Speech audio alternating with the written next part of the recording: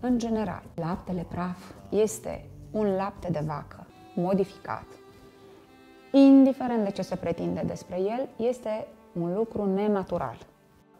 Este o bombă chimică plină de izolați și substanțe chimice uh, deghizate sub uh, emblema naturale, zaharuri deghizate sub emblema naturale, infant formula advertising is a very important problem because mothers are induced to believe that uh, formula feeding is uh, good for the babies. So there is also a strong regulation on uh, formula advertising. Uh, all over Europe, you cannot advertise directly to the public uh, infant formula. De la vârsta de un an, Nana 3 continuă să-ți asigure Da, nu trebuie să facem. Fiind maternitate pe tine copilul, nu avem voie să facem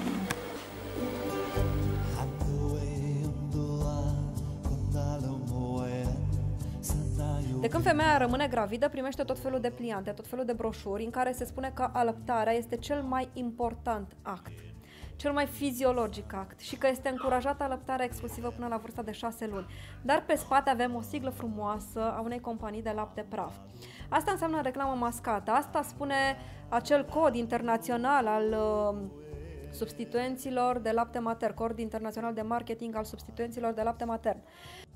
Teoretic, în uh, spitalele care sunt baby-friendly n-ar trebui să existe această reclamă mascată, n-ar trebui să existe rețete cu sigla lor, n-ar trebui să existe uh, tot felul de sticăre puse pe uși, pe pereți, cu ursuleți, cu animăluțe vesele și scris sigla respectivă.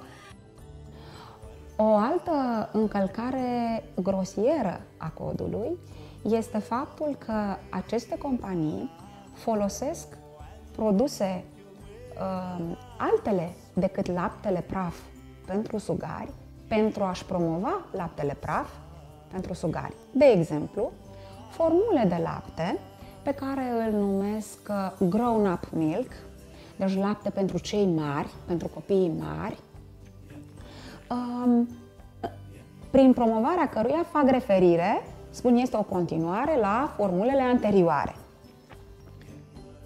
companiile au găsit modalități sofisticate de a încălca codul, de a prezenta laptele praf ca pe un aliment minune și uh, de a-și face, asta este cel mai îngrijorător, de a-și face reclamă folosind argumentul sănătății